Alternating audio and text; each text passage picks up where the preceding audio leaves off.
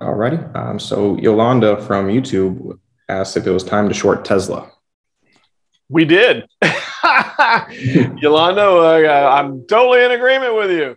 Um, we sent out a, uh, a trade uh, for um, a put spread on Tesla to our subscribers. So totally in tune with that. And it's because of this gap up. Um, so the tweet from uh, Elon Musk saying that they uh, were looking at splitting the stock. They've gone to try to authorize additional shares to split the stock.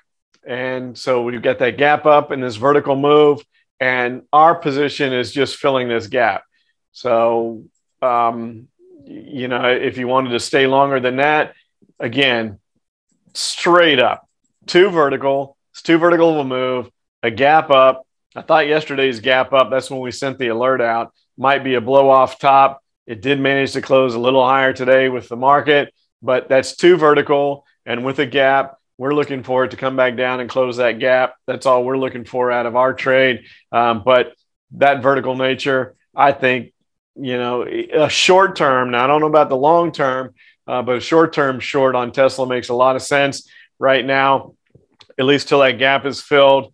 But um, you know, there's speculation of um, in, in the future how many somebody did the num- numbers and it's an insane number of cars that tesla has to build um, every year to justify their market cap.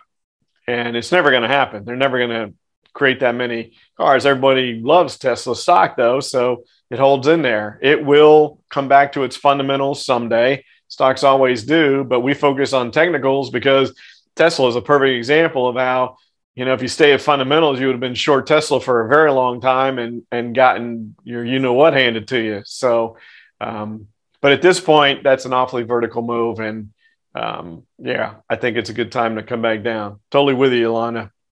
If you like these recordings, I'd like to invite you to join our new TradeFinder Live, where each and every week we do a live webinar where we talk about the market, but we also go a little more in depth into the technical analysis system that we utilize to forecast where the market's likely going to go, and also to identify trading opportunities. Get your free subscription today. Take care, everybody.